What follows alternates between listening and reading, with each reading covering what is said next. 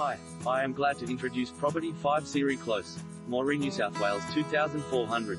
Premier position.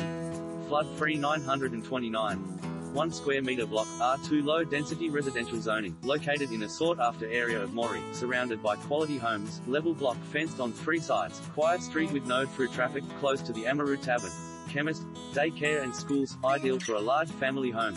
Units or townhouses, subject to council approval. Have you been searching for the perfect home? Why not build to suit your needs? Flood free 929. 1 square metre building block in Amaroo.